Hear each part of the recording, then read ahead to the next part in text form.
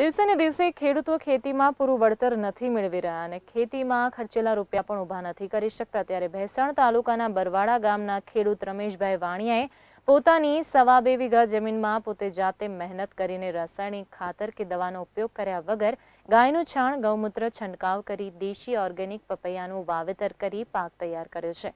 ભેસાણના બરવાડા ગામના ખેડૂત રમેશભાઈ વાણિયાના બહેન અને આર આઈ આફ્રિકાના દેશ નાય, નાયરોબિયામાં વસતા હોય તેમની સલાહથી પ્રથમવાર પપૈયાનું વાવેતર કરીને એક પપૈયાના છોડના થડમાંથી સો કિલોથી વધારે ફળ આપે છે.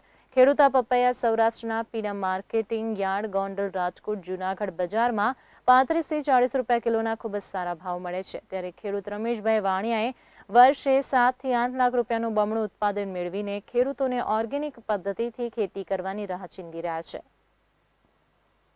મેં આ ઓર્ગેનિક ખેતી બના કરી છે, સવા બે વીઘામાં પોપૈયા વાવ્યા છે. બરાબર? એક પોપૈયાની અંદર સો કિલોથી માંડીને એકસો ને ચાલીસ કિલો પોપૈયાનું ઉત્પાદન આવે. બરાબર? એટલે હજારક પોપૈયા, સવા બે વીઘામાં હજારક પોપૈયા આવી છે.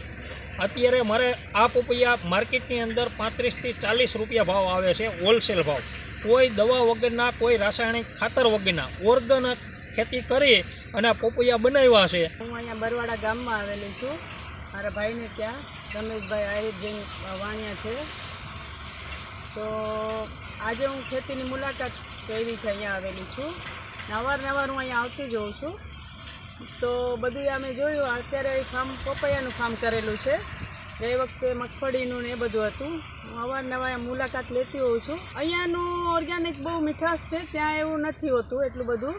જે અહીંયાનું ટેસ્ટ જ અલગ હોય છે. અને મોદી સાહેબ જે કાંઈ કરેલું છે, આ ઓર્ગેનિકનું ઉપર ગયા છે, એ ફ્યુચર માટે બહુ સારું છે, બધા આવતા જનરેશન માટે.